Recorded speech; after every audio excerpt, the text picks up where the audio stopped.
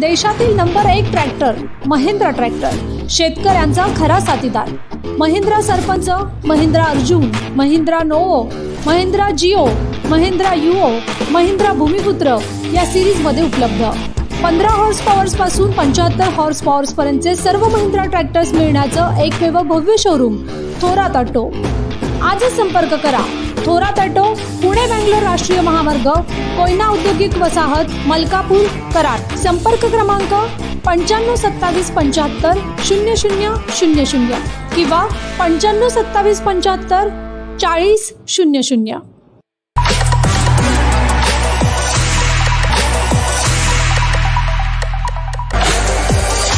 आगामी काळात छत्रपती शिवरायांचा इतिहास भावी पिढीसमोर उभा राहावा आणि त्यातून त्यांना प्रेरणा मिळावी तसेच सदाशिवगडच्या ऐतिहासिक वैभवात भर पडावी.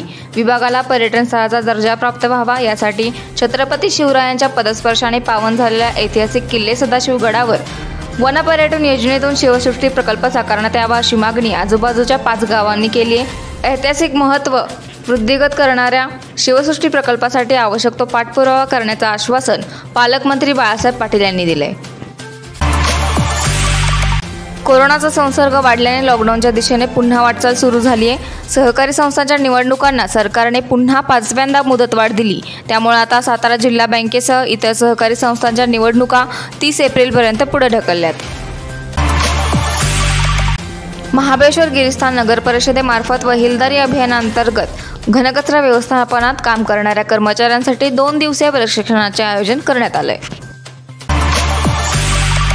कोरोनावर मात करण्यासाठी सर्वच पातळ्यांवर विशेष प्रयत्न चालू असून जिल्हा परिषदेचे जिल्ह्यातील सातशे अठ्ठ्याण्णव कर्मचारी आजवर बाधित झाले होते. त्यापैकी तब्बल सातशे सत्याहत्तर कर्मचाऱ्यांनी कोरोनावर मात केली असून ते कर्तव्यावर रुजू झालेत.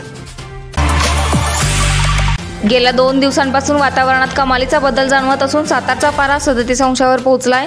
यामुळे उन्हाच्या तीव्र झळा जाणवू लागल्याने सातारकर मात्र हैराण झालेत. सातारा जिल्ह्यात कोरोना संसर्गाचे रुग्ण आढळण्याचे प्रमाण वाढले आहे. संसर्ग झालेल्या अत्यावस्थ व्यक्तीला ऑक्सिजनची आवश्यकता असेल तर तो रुग्ण हा बेडपासून वंचित राहणार नाही याची दक्षता घेण्याबरोबरच.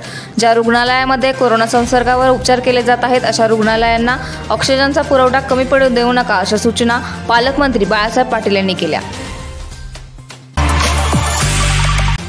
किसनवीर साखर कारखान्याच्या वार्षिक अहवालात साखरेचा प्रति क्विंटल उत्पादन खर्च दोन हजार आठशे आठ रुपये दिसत असून तो अन्य कारखान्याच्या तुलनेत दुप्पट अडीचपट इतका प्रचंड आहे.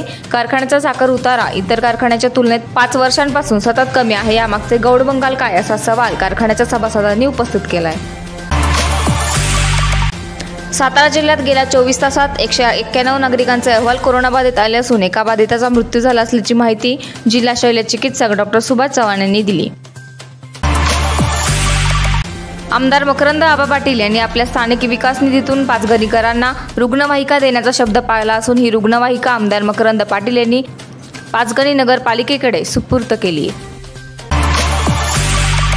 खटाव तालुक्यातील औंधजवळील गणेशवाडी येथे बेकायदेशीररित्या बैलगाडी शर्यतीचे आयोजन केल्याबद्दल औंध पोलिसांनी छापा टाकून कारवाई केली. यावेळी पिकअपसह तीन लाख सत्याहत्तर हजार रुपयांचे साहित्य जप्त करण्यात आले तसेच सहा जणांविरोधात गुन्हा दाखल झालाय. कोरोना विषाणूच्या पार्श्वभूमीवर सातारा मिलिटरी कॅन्टीनमध्ये विविध तालुक्यातील कार्डधारकांसाठी दिवस ठरवून दिले आहेत. त्यानुसार संबंधितांना प्रवेश मिळणार आहे अशी माहिती व्यवस्थापक निवृत्त कमांडर राजेंद्र शिंदे यांनी दिली. साताऱ्यातील कोयनानगर येथील कोयना बांधकाम विभागातील कर्मचाऱ्याने गळफास घेऊन आत्महत्या केल्याची घटना समोर आली आहे. अष्टविनायकांपैकी एक असलेल्या थेऊर तालुका हवेली येथील चिंतामणी मंदिर संकष्टी चतुर्थीच्या दिवशी सर्व भाविकांना दर्शनासाठी बंद राहणार आहे. याबाबतचे आदेश हवेली तालुका उपविभागीय अधिकारी यांनी दिली असल्याची माहिती चिंचवड देवस्थान ट्रस्टचे विश्वस्त विनोद पवार यांनी सांगितली. कोपर्डे हवेली जिल्हा परिषद सदस्य श्रीनिवास थोरात यांच्या विशेष प्रयत्नातून मौजे कोपर्डे हवेली येथे धनगर समाज मंदिरापर्यंत रस्ता काँक्रिटीकरणासाठी चार लाखांचा निधी मंजूर झाला असून त्या कामाचे भूमिपूजन करून कामाला सुरुवात करण्यात आली.